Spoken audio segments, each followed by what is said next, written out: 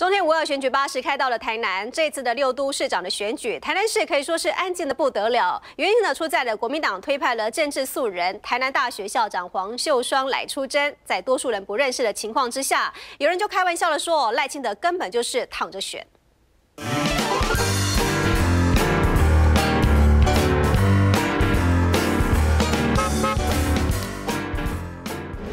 市长选举，台南可说是最冷的一区。有人归咎是因为选举老手赖清德碰上政治素人黄秀双，激不起火花。但不管如何，双方都有输不得的压力，因此倾听民意变得格外重要。时间就是金钱。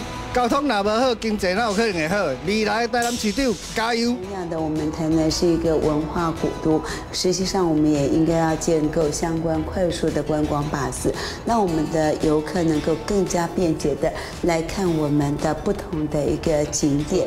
第二个呢，是我们会大力的推行 U Bike。另外呢，我们会从第三个面向，就是说鼓励私人来新建我们的停车场，让我们的停车的一个系统。能够更加的一个便捷，来解决这相关的一个交通塞车的一个问题。咱有储备的问题，啊，咱有心理的问题。所以咱看到飞机，啊，咱的机场已经变做国际机场，按台南飞到香港，咱的安平港嘛已经变做自由贸易港区，啊，啊，咱的三纵三横的道路嘛已经完成，雨水啊嘛已经有十年的。雨水的这个标准啊，路嘛比以前都较平，所以种种的这个成绩已经奠定下未来台南市的一个阶段进步的这个啊基础哈。接下来呢，就是其实黄校长这一次的对手算是也蛮强的，评价都很高，所以就有市民想要问啦，黄校长，你觉得你有什么样的条件可以胜过对方来当台南市市长？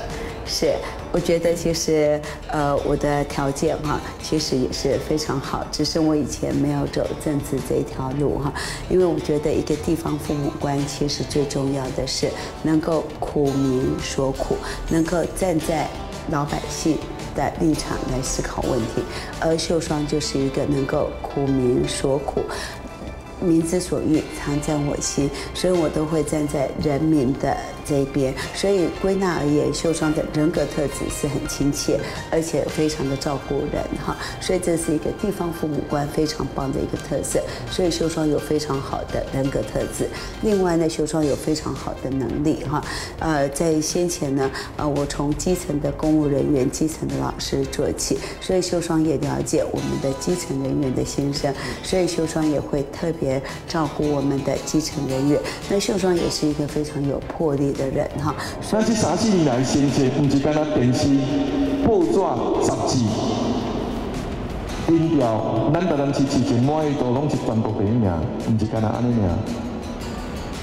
这三四年来，台南市政府的团队当年的拍拼，得到中央的这个奖项，拢共有一千几项。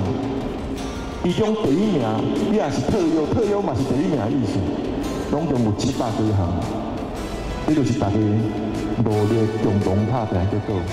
尽管选情冷清清，但是候选人呢，仍旧是努力的扫街拜票，无非就是希望把自己的票数给冲高。以上就是中天五二选举巴士在台南。